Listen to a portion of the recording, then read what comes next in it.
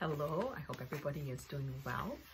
Um, all right, so last week I asked you to um, dig in your Bibles and figure out or find out the name of the man that was waiting to meet Jesus, that the Holy Spirit told him that he would not die until he met Jesus. Did you figure that out?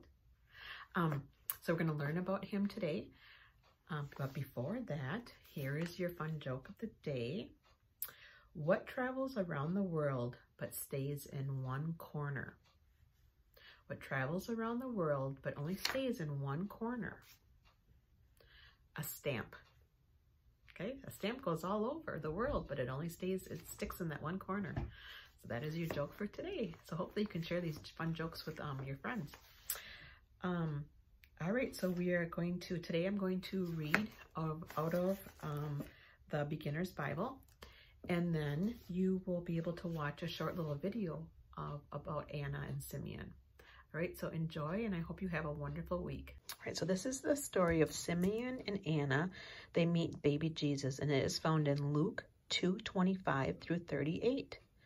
Mary and Joseph took baby Jesus to the temple. There they met a godly man named Simeon. Simeon took Jesus into his arms and praised God. He knew Jesus was the Savior of all people. Then Simeon blessed Joseph, Mary, and Jesus. There was also a prophet named Anna. She lived at, at the temple. She prayed to God every day and loved God.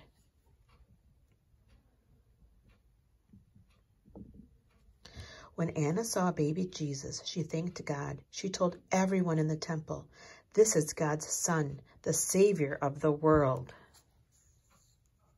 All right, so I'm going to do a quick little review before you watch the video. Um, here's a question for you. What was Simeon told um, by the Holy Spirit? What was revealed to him? Do you remember? That he would meet Jesus before he would die. Yes. Um, where did Mary and Joseph bring Jesus? Do you remember? To the temple, and that's where they um, met Simeon and Anna. Um, and what do you know what a temple is? A temple is a place where Jewish people would go to worship. And um, do you remember who, this we learned about this way in the summer, who built the first temple? temple? It was King Solomon. So King Solomon built the first temple. Um, and then we also learned today that Anna was a prophet. Do you remember what a prophet is?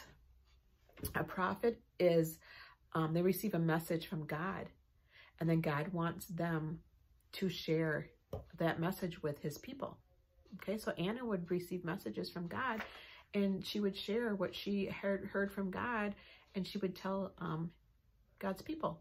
Okay, um, I think that's it. So enjoy uh, the video.